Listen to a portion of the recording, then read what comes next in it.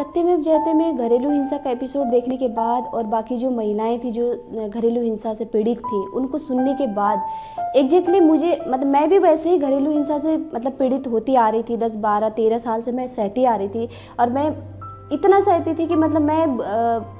अपने घर के अंदर जो होता था मार पीट ये, लेकिन मैं आगे जो अपने दरवाजे से बाहर जाके जो लेडी मिलती थी, उसको मैं कभी नहीं बताती थी। लेकिन जब मैंने ये एपिसोड देखा और सुना, उसके बाद मुझे मतलब ऐसा लगा कि ये चीज़ तो मैं अपने आप के ऊपर बहुत अपने आप के ऊपर मैं खुद हिंसा कर रही हूँ कि मैं उसको दबा के बैठी हुई हूँ। मैं आगे बढ़ी लड़ी लड़ने के बाद आज मुझे मतलब फाइनली मैं उस चीज़ से मुक्त हूँ।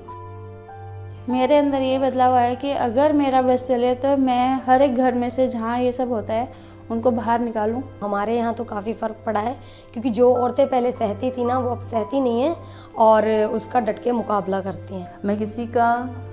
वायलेंस नहीं सहूँगी और ना ही किसी पे हो रहा है तो मैं उसको देख के चुप रहूँगी। सत्यम जयते को देखने के बाद ये हिम्मत आ गई कि मैं अब,